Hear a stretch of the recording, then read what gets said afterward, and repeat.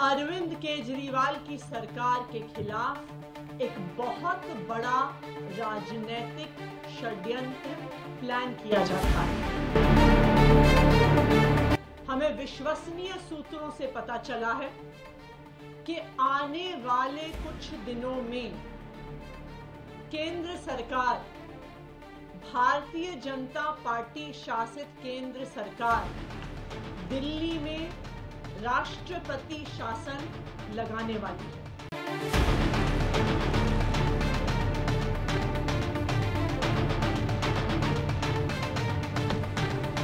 इसके कई संकेत पिछले कुछ दिनों से दिख रहे हैं। अरविंद केजरीवाल की सरकार के खिलाफ एक बहुत बड़ा राजनीतिक षड्यंत्र प्लान किया जा रहा है।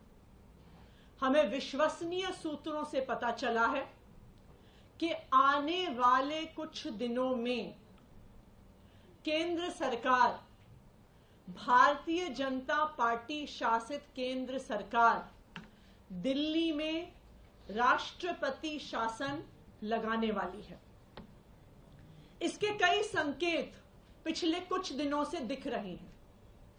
हम पिछले कई दिनों से देख रहे हैं कि दिल्ली में किसी भी अफसर की पोस्टिंग नहीं हो रही है। जो आईएएस अफसर हैं, उनकी पोस्टिंग एमएचए द्वारा कंट्रोल्ड होती है। लेकिन पिछले कई महीनों से किसी भी सीनियर आईएएस अफसर की पोस्टिंग दिल्ली में नहीं हुई। दूसरी बात, दिल्ली के अंदर कई विभाग खाली हैं वहाँ पर अफसर पोस्टेड नहीं है। लेकिन फिर भी दिल्ली के अंदर किसी भी अफसर को नहीं लगाया जा रहा। तीसरी बात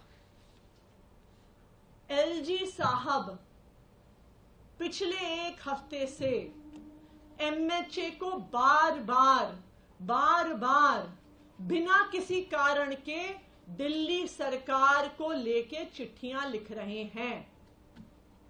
कहते हैं कि मंत्रीगण मीटिंग में नहीं आते। कहते हैं कि मुझे चर्चा करनी है, वो उस मैंने मीटिंग पे बुला रहा हूँ, ये मीटिंग में नहीं आ रहे हैं। ये वही एलजी साहब हैं, जो कोर्ट में खड़े होके कहते हैं कि जी, ये ट्रांसफर्ड सब्जेक्ट है, मेरा इससे कोई लेना देना नहीं है। तो जब आप कोर्ट में कहते हैं कि आपका पानी के मुद्दे से, पोल्यूशन के मुद्दे से कोई लेना देना नहीं है, जब वो ट्रांसफर्ड सब्जेक्ट है तो आप एमएचए में उसके बारे में चिट्ठी क्यों लिख रहे हैं? चौथा, दिल्ली सरकार के अफसरों ने मॉडल कोड ऑफ़ कंडक्ट का बहाना बनाकर किसी भी मीटिंग में आना बंद कर दिया है, चाहे वो कितने ही इंपॉर्टेंट मुद्दे पर हो। आखिरी चीज़, हमने देखा कि किस तरह से एक बीसों साल पुराने केस को उठाकर दिल्ली के मुख्यमंत्री अरविंद केजरीवाल के निजी सचिव को बर्खास्त कर दिया तो ये सारे लक्षण दिखा रहे हैं कि एक बहुत बड़ी साजिश हो रही है। दिल्ली की सरकार को गिराने की साजिश हो रही है। अरविंद केजरीवाल की सरकार को गिराने की साजिश हो रही है। और दिल्ली में राष्ट्रपति शासन लगाने की साजिश हो रही है।